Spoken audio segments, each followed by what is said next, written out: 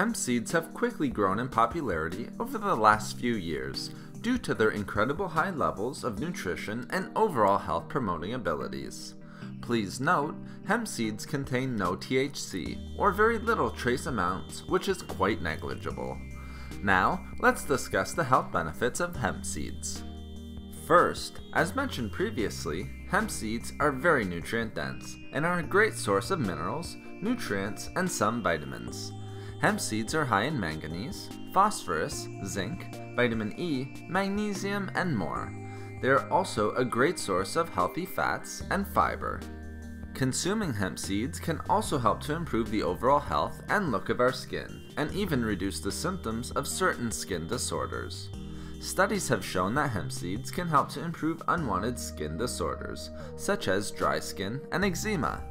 The high levels of vitamin E can also help to reduce the signs of aging and fine lines.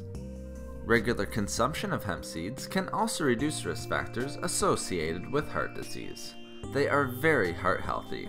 This is attributed to hemp seeds containing an amino acid known as arginine, which produces nitric oxide, which can improve the health of our blood vessels and arteries through a process known as vasodilation.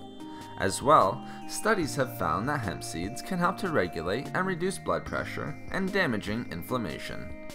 They can also help to improve overall digestion and digestive health.